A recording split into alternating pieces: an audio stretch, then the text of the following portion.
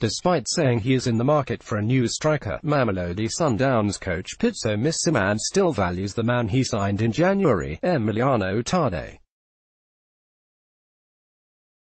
Tade was signed from Amazulu during the January transfer window, after an impressive first half of the season with Usuthu. He finished the campaign with two goals for Sundowns but there were glimpses of brilliance in the matches he played. It should give Sundowns followers reason to believe that the South American forward can deliver next season when he has found his feet at Klaw He will be hoping to do well next season, so that Mosimane can put his trust in him up front.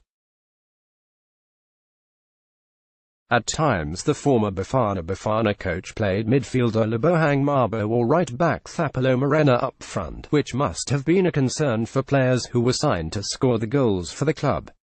He's good. He's going to help us in the first games in terms of the Champions League.